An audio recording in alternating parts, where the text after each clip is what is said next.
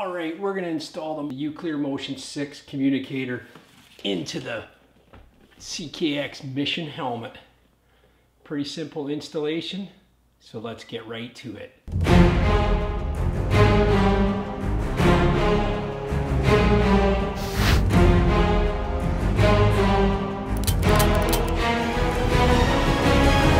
I love snowmobiling.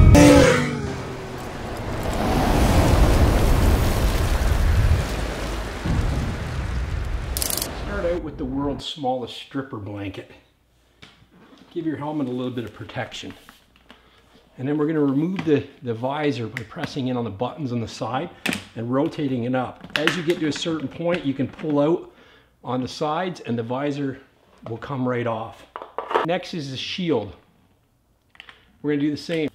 We're going to push in on the side buttons, pop this open, and we'll get to a point and that thing will pop right off just like that. Now we got those out of the way. You can take this bottom shield off if you like, uh, but in this case, there's a lot of room in that opening. So all we're gonna do is we're gonna actually remove the cheek pieces and they just Velcro in place like that. Very simple. We'll get them out of the way. And now we're ready to install the Uclear. You'll see here there's even a little recess indent for the communicator. In most cases that'll be fine to stick right on there. Uh, if you find that it's still uncomfortable, it's causing too much pressure on your ears, I wouldn't be too afraid to hone that out just a bit to make more room for that uh, ear pad. But uh, that's up to you. I like to keep the shell intact as much as I can uh, for safety reasons, but I mean comfort's important as well. We're gonna open up the, uh, the Uclear Motion Series box and uh, I've already had the one communicator out and it's installed on the other helmet. So we're gonna pop this uh, communicator off and uh, remove the ear pads from the box. We really don't need a whole lot. We need the, uh, the two Velcro pads.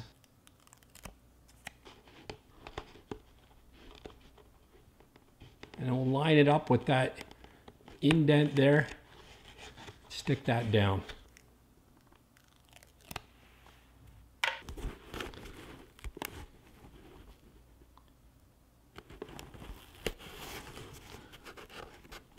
Just like that we can grab the speakers and you'll see they're labeled right and left.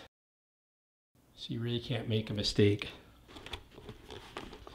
Line the speaker like that to the Velcro and then we can take this other speaker like that.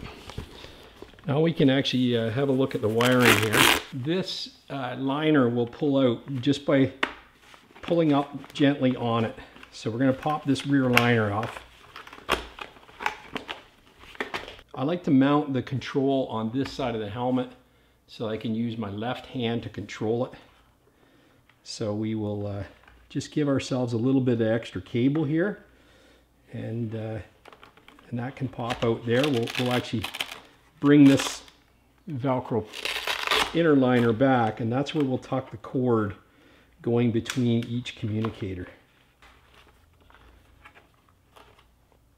Once you got the cord in place, you can Velcro the liner back in and just make sure that speakers are put back onto the pads if they did fall down.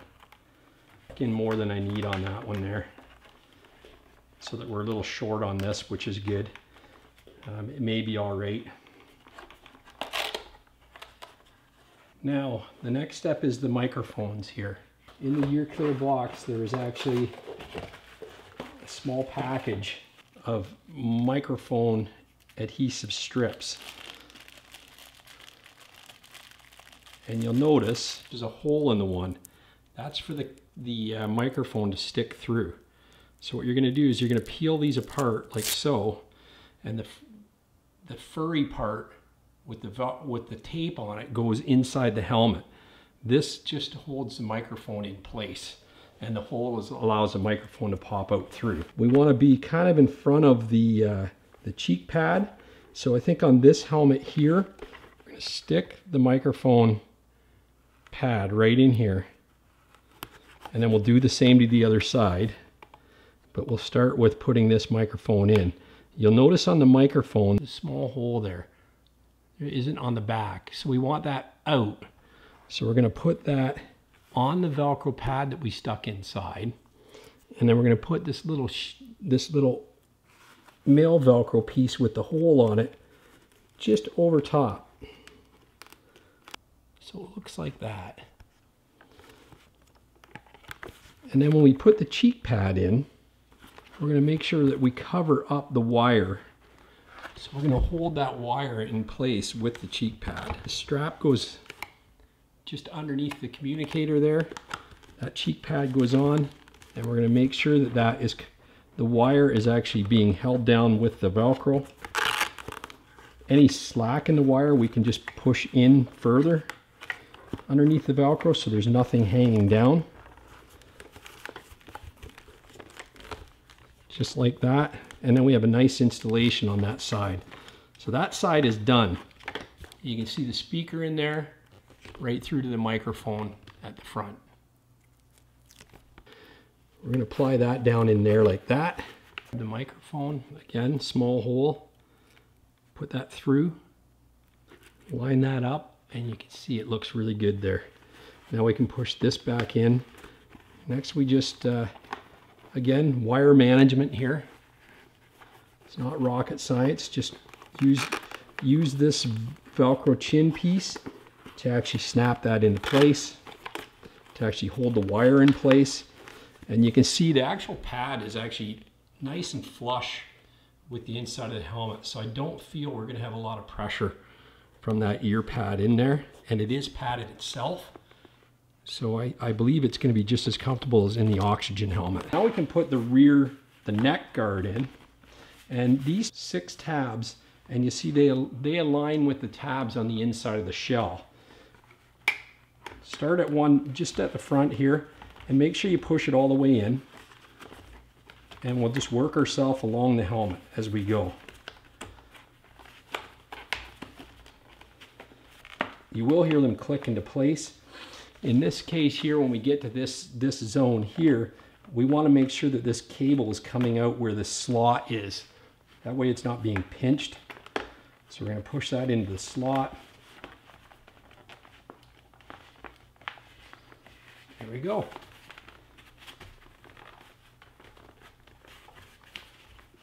Nice and clean. You can see the wire coming out of there. And you can see it doesn't interfere with the operation of the chin shield or the neck shield. I find with the uh, with the Uclear, especially if you wear a tech vest, you don't want it too low on the helmet because you could, by, by moving your head, knock that off of the, the helmet. I have seen it happen before. So I usually like to place it up high. On this helmet, there's a lot of molds and, and so forth.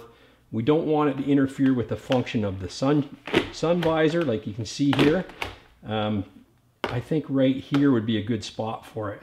So essentially, there's a couple of mounts that this that is included with this Uclear. I do like this big gray one. Um, I find it snaps in really nice and easy, and you can do it with gloves on quite easy. Also includes this black first generation clip um, that actually snaps in just as good. The communicator will work even on an older install helmet that you've already got clips in, but this might be the clip to use on this helmet because we don't have a lot of active real estate on it.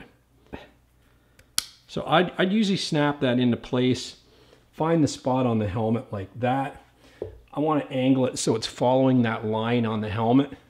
That looks really good you can see it's not going to interfere with the visor action at all. And it's back a little bit. So one-handed operation if you want to press any buttons to take calls, change tracks on your audio, that type of thing. It's right there, easy at hand. To use some rubbing alcohol. We're going to clean up the area so it sticks nice and good. Again, I just set that mount on the com. I've got the Uclear logo reading upright. Uclear logo's upright on this. The cord will plug in the bottom. Peel off the backing. Set this into place.